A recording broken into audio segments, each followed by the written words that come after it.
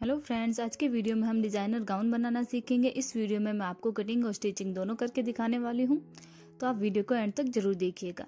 यहाँ पर हम ये जो गाउन बना रहे हैं, वो आठ से दस साल की बच्ची के लिए बना रहे हैं। उसके लिए यहाँ पर हमने तीन तरह के फैब्रिक लिए हैं। ये हमारा ऊपर डिज़ाइन के लिए फैब्रिक होगा और फैब्रिक। सबसे पहले हम आपको इसका पैटर्न दिखा देते हैं। कुछ इस तरीके से रहेगा दो पार्ट में। चोली वाटर पार्ट अलग रहेगा और नीचे हम फुल सर्कल घेरा बनाएँगे और साइड में ये जो अर्गेंजा फैब्रिक लिया है, इसके यहाँ पर इस तरीके से तिरछा लगाते हुए डिज़ाइन बनाएँगे और ये नेट के फैब्रिक की हम इसके ऊपर फ्रिल लगा के डिज़ाइन बनाने वाले हैं। तो इस तरीके से हमारा पैटर्न रहेगा और ये आपको फैब्रिक दिखा देते हैं। हमने ऑर्गेंजा फैब्रिक लिया, इसके अंदर भी हमें अस्तर डालना होगा क्योंकि पतला आता है, मिरर वर्क वाला ऑर्गेंजा फैब्रिक है और हमने इसके अंदर सिल्क का अस्तर लिया है।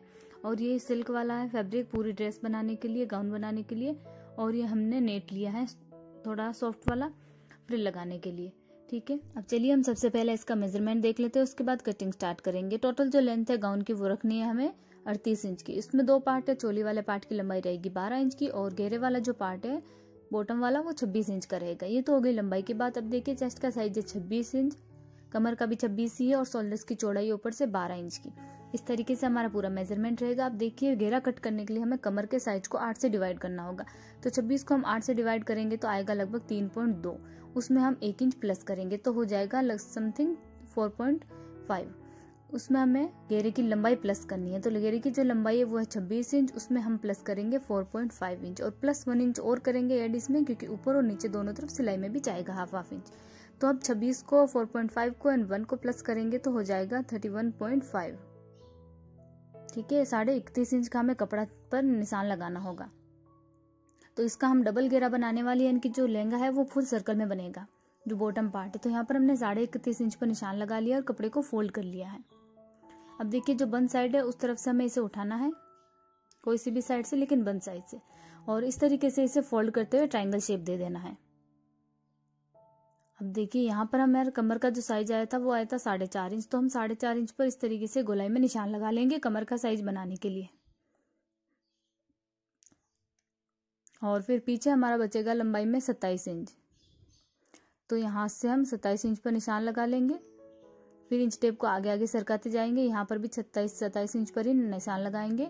फिर थोड़ा और आगे जाएँगे तो इसमें चौथा इंच कपड़ा कम कर देंगे, क्योंकि अम्ब्रेला लहंगा है तो बीच में से इसमें टेरे पड़ते हैं। इसलिए सेंटर में आते आते हमें लगभग एक इंच कपड़ा कम कर देना है। फिर साढ़े छब्बीस करेंगे, फिर छब्बीस पर ही निशान लगा लेंगे, क्योंकि हमारा जो फैब्रिक है वो थोड़ा लचीला है सिल्क का फैब्रिक लिया है इसीलिए। इसलिए हमें एक इंच कम करना होगा ताकि इसमें टेरे ना पड़े। अब हम इसकी कटिंग कर लेंगे। ये तो बनेगा हमारा हाफ़ सर्कल लहंगा। इसके जैसा ही हमें एक और लहंगा कट करना होगा तो हमारा फुल सर्कल लहंगा बनकर रेडी होगा। इसी नाप का एक लहंगा और कट कर लेना है। देखिए मैं आपको खोल के दिखा देती हूँ। जब हम इसे खोलते हैं तो ये आधा सर्कल ही बनता है। इसलिए इसे हाफ़ सर्कल लहंगा बोलते हैं।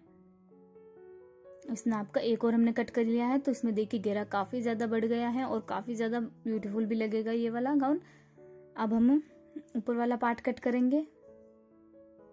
और पहले देखिए इसमें हमें अस्तर भी ऐड करना होगा। तो यहाँ पर हमने कॉटन का फैब्रिक लिया है, लंबाई रखी है इसकी 25 इंच की और चौड़ाई में हम 25 इंच लिया है, ठीक है? तो इसके कलिया काट के हम इसे ज्वाइंट कर देंगे अमरेला नहीं लगाएँगे, इससे ज़्यादा गहरा हो जाता है। चलने में दिक्कत आती है बच्चों के लिए, इसलिए कलीदार लहंगा इसमें हम ऐड कर देंगे अंदर की तरफ़। जैसे पेटीकोट होता है, उस तरीके से बनाते हुए। लंबाई भी थोड़ी कमी रखनी है गहरे से।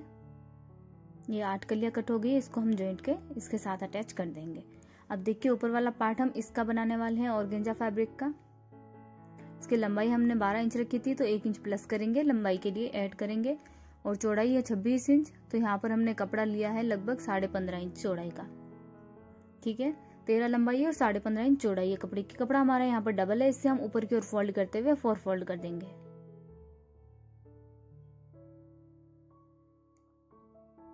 यहाँ पर हम नेक की चौड़ाई का और शोल्डर्स की चौड़ाई का निशान लगाएँगे। शोल्डर्स थे हमारे बारह इंच के तो हम यहाँ पर तेरह इंच के कट करेंगे। बारह का आधा होता है छह इंच, उसमें हाफ़ इंच यहाँ पर प्लस कर देंगे तो साढ़े छः पर निशान लगा देंगे। आधा इंच सिलाई में भी जाएगा और आरमोल की लंबाई के लिए छः इंच पर निशान लगा दीजिए। फिर यहाँ पर एक बॉक्स बनाते हुए इसे आरमोल का शेप दे दीजिए, यहाँ पर गले देते हुए। ठीक है? अब हम गले की लंबाई और चौड़ाई का निशान लगा देते हैं। तो गले की चौड़ाई हम यहाँ पर ज़्यादा भी नहीं रखेंगे। तो दो इंच या डेढ़ इंच पर निशान लगा दें। दो इंच काफ़ी है। और बैक नेक की लंबाई होगी दो इंच की और फ्रंट नेक की लंबाई होगी थ्री पॉइंट फाइव इंच यानी कि साढ़े तीन इंच की। अब इसे हम गोली शेप देंगे, गोली अच्छा लगता है। पहले हम यहाँ पर छोटा वाला जो नेक यानी कि बैक पार्ट की कटिंग कर लेनी है। साइड में से इसको इस तरीके से तिरछा कट कर देना ताकि जो गाउन है वो साइड में से लटके ना। पहले बैक नेक की कटिंग कर लीजिए और फिर आर्मोल की कट कर लेना है और साइड में से भी इसे कट कर देना है। उसके बाद हम फ्रंट नेक की कटिंग करेंगे।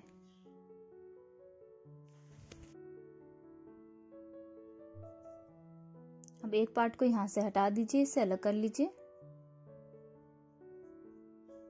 एक पार्ट को फिर से फोल्ड करते हुए फ्रंट नेक की और फ्रंट के जो आर्मोल है, उनकी थोड़ी सी ज़्यादा कटिंग कर दीजिए, आधा इंच अंदर की ओर लेते हुए। इस गाउन में हम स्लीव्स नहीं लगाने वाले हैं।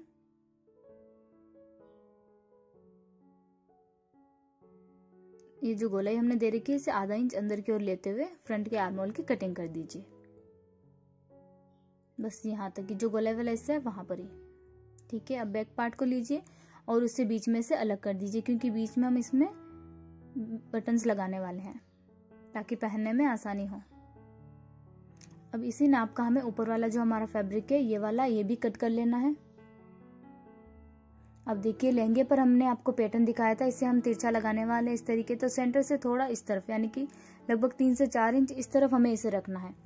पूरा सेंटर में नहीं, बराबर तक नहीं। इसे हम यहाँ नीचे तक लगाएँगे। पहले हम इस पर ड्रॉ कर लेते हैं, किस तरीके से हमें लगानी है। आप चाहो तो इस तरीके से गोलाई में भी लगा सकते हो, या फिर ऊपर नीचे आप जैसे चाहो, वैसे डिज़ाइन इस पर बना सकते हो। आपको जैसी पसंद आए वैसे। हम यहाँ पर, ये यह हमने राउंड ही लगाने वाले हैं। हल्का सा कर्व शेप देते हुए इसे।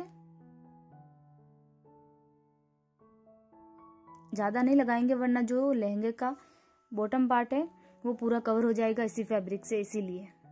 कमर के साइज़ का भी कट कर लेना है इसी नाप का हमें इसका अस्तर भी कट कर लेना है। ये हमने इसका अस्तर भी कट कर लिया, इस तरीके से यहाँ पर अटैच होगा और इसके ऊपर फ्रिल लगेगी। ये ऊपर वाले पार्ट के भी हमने इसकी सारी कटिंग कर ली, अब हम इसकी स्टिचिंग स्टार्ट करते हैं। सबसे पहले गाउन के टॉप पार्ट की हम स्टिचिंग करेंगे।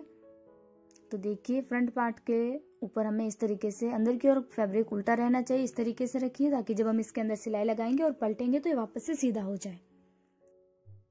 अब यहाँ पर हमें लगभग चौथा इंच कपड़ा सिलाई में लेना है, आधा इंच नहीं लेना है, चौथा इंच कपड़ा सिलाई में लेते हुए नेक पर और आर्मोल पर सिलाई लगा दीजिए, फिर हम इसे पलट कर सीधा कर देंगे।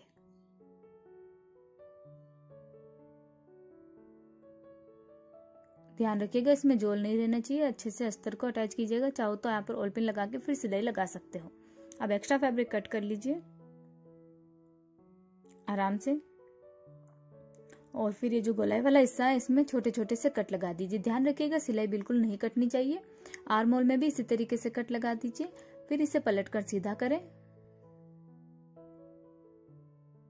और यहाँ किनारे पर एक सिलाई लगा दीजिए ताकि जो कपड़ा है वो अच्छे से दब जाए। कोई अलग से पट्टी लगाने की यहाँ पर ज़रूरत नहीं पड़ेगी। आर्मोल पर भी इसी तरीके से सिलाई लगा देनी है। ठीक है, ये हमारा फ्रंट पार्ट रेडी हो गया। बैक पार्ट को भी हमें इसी तरीके से करना है।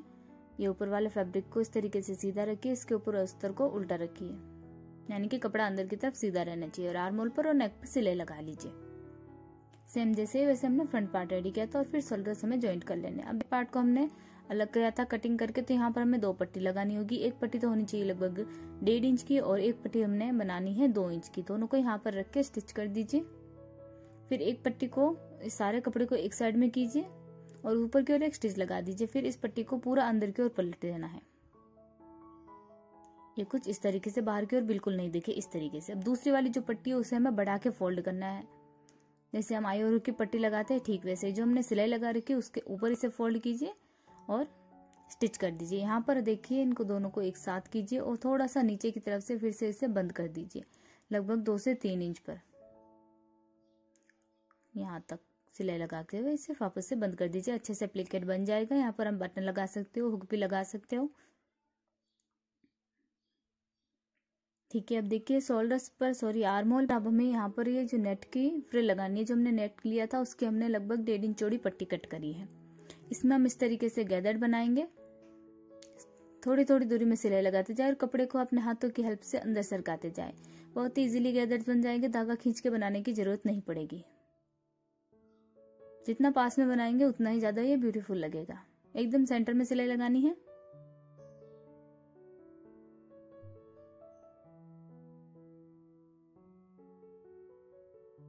पूरी ड्रेस के लिए बना दीजिएगा। काफ़ी चाहिए होगी हमें, घेरे पर भी लगानी है और तीसरे वाला जो फैब्रिक है, उसके ऊपर भी लगानी होगी। अब देखिए, आर मोल पर हमें इस तरीके से रखना है। पूरा किनारे पर रखने की ज़रूरत नहीं है। थोड़ा अंदर की ओर रखते हुए जो हमने इसके ऊपर सिलाई लगाई है, उसी के ऊपर सिलाई लगा दीजिए। इसे बिल्कुल भी खींचना नहीं है। आराम से हल्के हाथों से लगा दीजिए। ये फ्रिल बनाने के लिए भी आप सॉफ्ट वाला फैब्रिक ही यूज़ लीजिएगा। सॉफ्ट नेट जो आता है वही वाला। ये दोनों तरफ़ हमने लगा दी है। अब हम इसके साइड की स्टिचिंग करेंगे तो पहले हमें बाहर की ओर सिलाई लगानी होगी। इस तरीके से सिलाई लगाएँगे कि बाहर की ओर दिखे। फिर हम इसे पलट कर सिलाई लगाएँगे। कपड़े के जो धागे वो बाहर की ओर ना आए, इसीलिए। एकदम किनारे पर सिलाई लगा दीजिए और जो एक्स्ट्रा फैब्रिक है उससे कट कर दीजिए। फिर उसे पलट कर उल्टा कीजिए और लगभग एक इंच कपड़ा अंदर की ओर लेते हुए इसे सिलाई लगा दीजिए। फिर इंच टेप से नाप लीजिएगा, छोटा बड़ा लगे तो आप फिर से सिलाई लगा सकते हो। दोनों तरफ़ सिलाई लगानी है। उसके बाद हम टॉप पार्ट को साइड में रख देंगे और बॉटम पार्ट रेडी करना स्टार्ट करेंगे। इसके ऊपर हम एक फ्लावर लगाएँगे, वो सबसे लास्ट में लगाना है।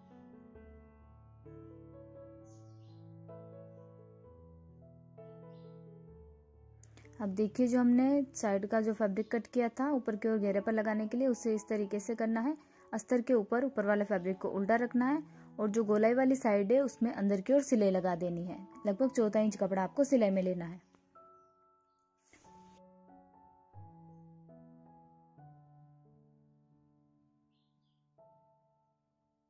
बराबर जैसे है उसे शेप में लगाइएगा। फिर इसे पलट कर सीधा कीजिए और किनारी पर ऊपर की ओर एक सिलाई लगा दीजिए ताकि जो कपड़ा है वो अच्छे से दब जाए। इसमें कोई अंदर की तरफ़ कट्स लगाने की ज़रूरत नहीं, क्योंकि इसमें ज़्यादा भी गोलाई नहीं दी है हमने। यहाँ पर इस तरीके से किनारे पर सिलाई लगानी है। उसके बाद, लास्ट में हम इसके ऊपर फ्रिल भी लगाएँगे।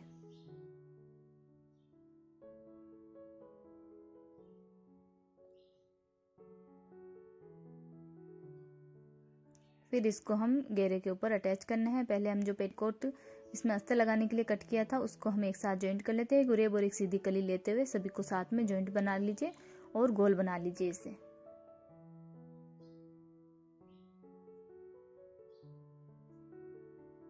सभी कलियों को एक के साथ एक ज्वाइंट करना है।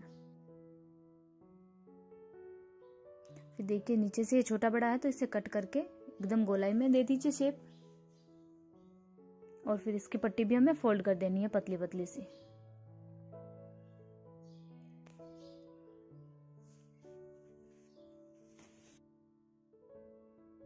देखिए घेरे का एक पार्ट लेना है हमें और यहाँ पर इससे जो फैब्रिक हमने कट किया था उसे रखना है बीच में और फिर दूसरा वाला जो घेरे का पार्ट है उससे भी लीजिए और साइड में सिलाई लगा दीजिए।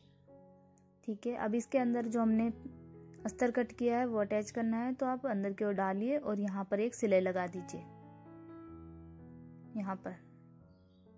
अगर अस्तर में अस्तर बड़ा है तो उसमें आप चुनट लेके इसे कवर कर लीजिएगा अच्छे से। अब ऊपर वाला पार्ट बॉटम पार्ट और टॉप पार्ट को हमें एक साथ ज्वाइंट करना है यहाँ पर सिलाई लगाते हुए। हमने सिलाई लगा दी। अब हम इसके अंदर घेरे में कैनवास का बॉर्डर अटैच करना है। तो यहाँ पर हमने ये कैनवास लिया और इसकी लगभग तीन इंच, तीन से साढ़े तीन इंच चौड़ी पट्टियाँ कट कर लेनी है। और कैनवास के ऊपर लगाने के लिए फैब्रिक भी कट करना है तो उसकी तिरछी पट्टियाँ कट कर लेनी है। कैनवास से थोड़ी बड़ी होनी चाहिए।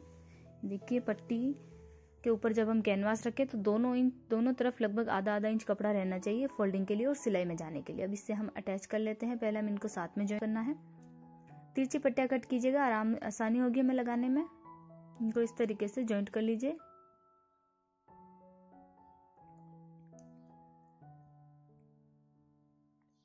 सभी को एक साथ ज्वाइंट करने के बाद ये हम कैनवास पट्टी यहाँ रखेंगे और इस तरफ़ से देखिए, जो हमारा लेफ़्ट साइड है लेफ़्ट हैंड है, उस तरफ़ से इसे फोल्ड करना है, राइट हैंड की तरफ़ से नहीं।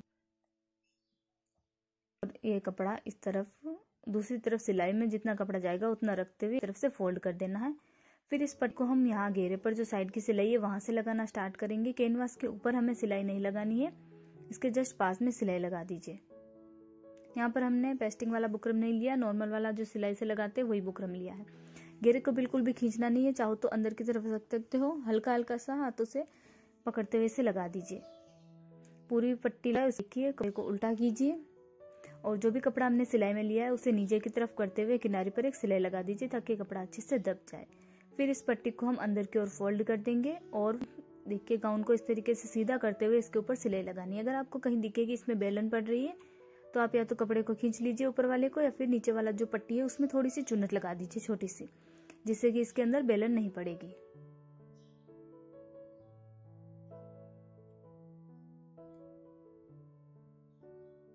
ठीक है? आराम से थोड़ी थोड़ी दूरी में पकड़ते हुए लगा दीजिए। कैनवास लगाने से इसका वॉल्यूम थोड़ा बड़ा हुआ दिखेगा और काफ़ी अच्छा लगेगा ये। आप चाहो तो इसमें कैन कैन भी अटैच कर सकते हो। अब यहाँ पर हम लगा देनी है और जो उसके ऊपर कपड़ा हमने ज्वाइंट किया, इसके ऊपर भी हमें यहाँ पर इसके ऊपर ये जो फ्रिल बना रखी है वो अटैच कर देनी है। किनारे पर न रखते, थोड़ा सा ऊपर की ओर रखिएगा और एक सिलाई लगा दीजिए। इसकी आप दो तीन लाइंस भी लगा सकते हो, ज़्यादा अच्छा लगेगा। मैंने यहाँ पर सिर्फ़ एक ही लाइन लगाई है। उसके बाद देखिए का फैब्रिक है, उसकी हमें लगभग चार इंच चौड़ी पट्टी कट करनी है फ्लावर बनाने के लिए उसकी एक साइड में सिलाई लगानी है, इससे डबल करते हुए। सिलाई लग जाए, उसके बाद देखिए, आपको लास्ट में एक लंबा धागा रखना है इसमें। फिर इस धागे को आगे खींचिए दड़ बना दीजिए, यानी कि कपड़े को इकट्ठा कर लीजिए एक जगह, दोनों तरफ़ से खींचेगा ताकि आसानी से इकट्ठा हो जाए। जब हम दोनों साइड से खींच लेंगे इसे, धागे को और कपड़े को इकट्ठा करेंगे तो ये अपने आप ही गोल बन जाएगा। आराम से थोड़ी थोड़ी दूरी में करते हुए कपड़े को आगे आगे सरकाते जाए, धागे को पकड़ते हुए।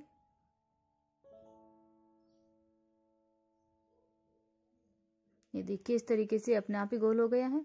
अब हम इसे एक के ऊपर एक ले आएँगे, इस तरीके से देखिए। ऊपर की ओर ले आएँगे और ये डबल फ्लावर बन जाएगा। कपड़े को फोल्ड कर देंगे यहाँ पर। ये यहाँ से और इसके ऊपर स्टिच कर देंगे ताकि ये वापस से खुले ना। तो आप सुई की हेल्प से इसे पैक कर दीजिए। पहले इसके ऊपर सिलाई लगा दीजिए, फिर इसके ऊपर हम एक बटन लगा देंगे प्यारा सा। इस तरीके से फ्लावर्स आप चाहो तो दो तीन भी लगा सकते हो, मैं यहाँ पर एक ही लगा रही हूँ। इसे भी अच्छे से अटैच कर दीजिए सुई की हेल्प से और फिर इसे फ्रॉक पर लगा दीजिए। यहाँ पर लगाएँगे।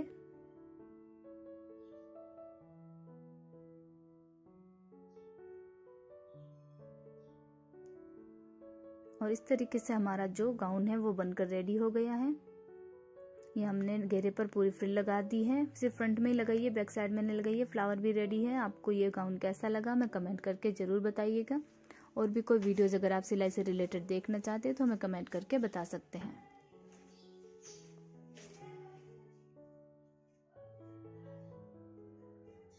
आप भी ये फ्रॉक बनाकर अपनी बच्ची के लिए ज़रूर ट्राई कीजिएगा।